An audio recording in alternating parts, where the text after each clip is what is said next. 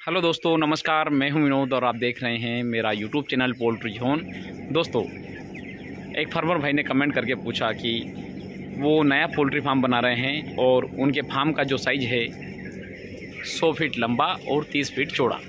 तो दोस्तों, उन फार्मर भाइयों ने कमेंट करके पूछा है कि वो नया जो पोल्ट्री फार्म बना रहे हैं तो उनमें फीडरों की संख्या कितनी होगी और लगने वाले ड्रिंकरों की संख्या कितनी होगी? तो दोस्तों हमने जो है उनके फार्म का जो पूरा कैलकुलेशन किया है कि अगर वो फार्मर भाई साधारण पोल्ट्री फार्म अगर बना रहे हैं तो कितने फीडरों की संख्या है उनको जो लगेगी और अगर वो इसी पोल्ट्री फार्म अगर बनाते हैं तो उनमें वो कितने चिक्स डाल पाएँगे और उसके हिसाब से जो है उनको फीडर और ड्रिंकर कितने लगेंगे। तो दोस्तों, चलिए हम देखते हैं। साधारण पोल्ट्री फार्म पहले हम देखते हैं कि सौ फीट लंबे और तीस फीट चौड़े पोल्ट्री फार्म का टोटल वर्ग फीट हुआ, तीन हज़ार वर्ग फीट फार्म हुआ। और उसमें अगर वो साधारण पोल्ट्री फार्म में चिक्स प्लेस कर करते हैं तो 1.3 स्क्वायर फीट पर बर्ड के हिसाब से, जो कि हमें पता ही है, हर एक कंपनी इस फार्म स्टैंडर्ड को फॉलो करती है। और अगर हम ओपन पोल्ट्री फार्म कर रहे हैं तो या हमारे प्राइवेट पोल्ट्री फार्म अगर है तो उस कंडीशन में तो हम स्पेशली ये वाला जो है स्टैंडर्ड फॉलो करते हैं, उसका भी कारण मैं बता दूँ, क्योंकि जो प्राइवेट पोल्ट्री फार्मर जो रहते हैं, वो जो है उनको पता रहता है कि अगर रेट अगर थोड़ा सा फ्लक्चुएट अगर रहा, कम रहा तो वो थोड़े दिन और मुर्गियों को रोक सकते हैं। इसलिए जो है वो 1.3 स्क्वायर फीट पर बर्ड के हिसाब से ही काउंट करके और मुर्गियाँ पोल्ट्री फार्म के अंदर डालते हैं। तो दोस्तों, अगर 1.3 पर बर्ड के हिसाब से अगर हम प्लेस करें तो टोटल इस फार्म में हम तेईस मुर्गियाँ डाल सकते हैं और इन तेईस सौ मुर्गियों के ऊपर अगर हमें फीडर और ड्रिंकर का अगर गणना अगर करना हो तो तेईस सौ में हम पैंतीस का भाग कर देंगे। वैसे दोस्तों, इसमें अगर चालीस भी, चालीस बर्ड भी जो है एक फीडर के ऊपर दाना आसानी से खा सकते हैं। तीस बर्ड भी अगर होगा तो और भी अच्छा रहेगा और अच्छे आसानी से दाना खा सकते हैं। किंतु अगर हम एवरेज अगर माने तो पैंतीस पर पैंतीस बर्ड जो है एक फीडर के ऊपर आसानी से दाना खा सकता है। तो हम तेईस सौ में पैंतीस से भाग कर देंगे। तो हमारा निकल के जाएगा पैंसठ फीटर मतलब कि अगर साधारण पोल्ट्री फार्म अगर बना रहे हैं और उसमें तेईस सौ बर्ड अगर वो डाल रहे हैं तो उस फार्म में पैंसठ फीडर लगा सकते हैं और अगर वो निपल सिस्टम अगर नहीं लगा रहे हैं तो उस फार्म में जो है वो पैंसठ ऑटो ड्रिंकर भी लगा सकते हैं। तो दोस्तों, पैंसठ फीडर लगा सकते हैं और पैंसठ आसो, ऑटो ड्रिंकर भी लगा सकते हैं।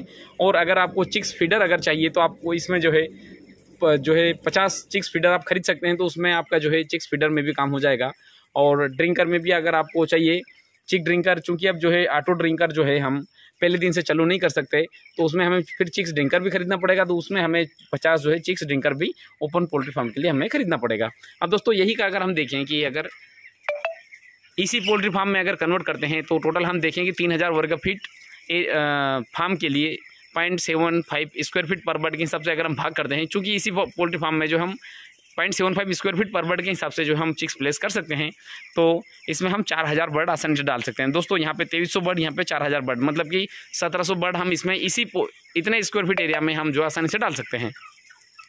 तो हम इसमें भी, चूँकि फीडर जो है, खाने का जो है, यही का यही रहेगा स्टैंडर्ड तो इसमें तो ऐसा पोल्ट्री इसी पोल्ट्री फार्म में इसका मतलब ये थोड़ी कि इसमें कोई स्टैंडर्ड अलग से हो जाएगा। दोस्तों स्टैंडर्ड जो है, वही का वही फॉलो होता है।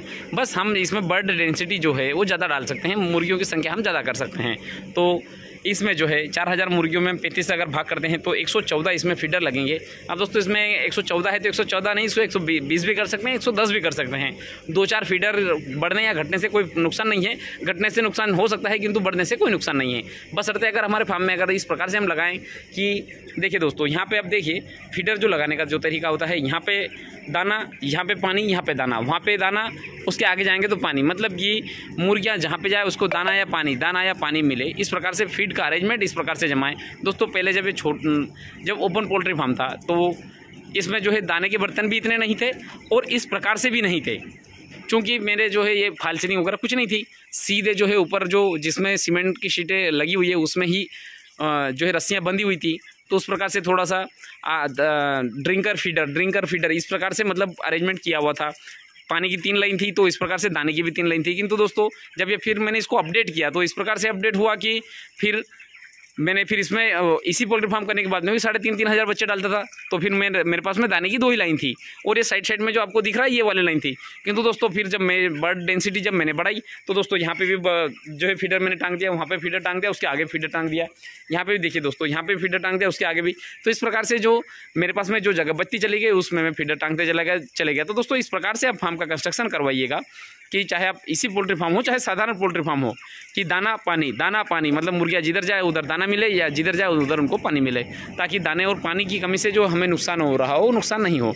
तो दोस्तों 114 फीडर लगा सकते हैं आप।